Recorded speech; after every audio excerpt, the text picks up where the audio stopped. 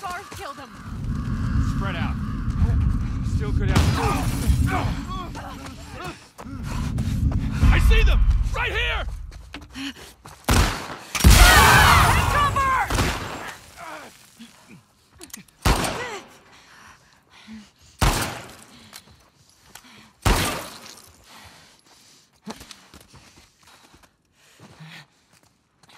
And he's still standing? I don't think so.